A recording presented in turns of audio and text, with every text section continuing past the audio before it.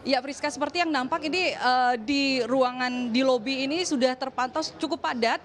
Ada uh, ada puluhan dari uh, tim pemenangan, kemudian tim pendukung juga hadir di sini menunggu dan uh, di sini juga kita bebas untuk uh, apa ada disediakan snack uh, untuk uh, para uh, tim yang menunggu proses rekapitulasi suara ini dan uh, memang hingga sore ini masih terus berdatangan Friska. Dari tadi kami melihat dari dari pantauan kami memang silih berganti uh, tim dari uh, Koster Aceh ini datang ke posko untuk uh, mengikuti proses rekapitulasi suara yang masih berlangsung hingga saat ini, Friska. Kita Pramadewi, itu tadi dari posko dengan Wayan Koster dan Cok Aceh yang unggul sementara versi hitung cepat SMRC dengan 58,61 persen. Sekarang angkanya dari 71,67 persen tingkat partisipasi masyarakat dan data masuk sudah 89,67 persen.